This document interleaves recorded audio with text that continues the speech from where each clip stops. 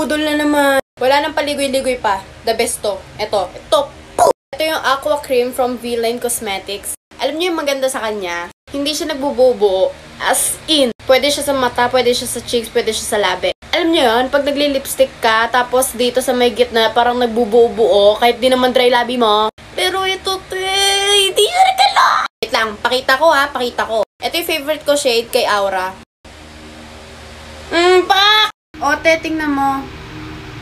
Juicy! Tapos tingnan mo naman yung applicator. Te, ang laki o. Pangkabuhayan na yan. Hindi ko siya makipakita ngayon kasi naka-makeup na ako. Pero pag nilagay mo siya sa cheeks mo, tas nagpawis ka, te, instant chikana ka.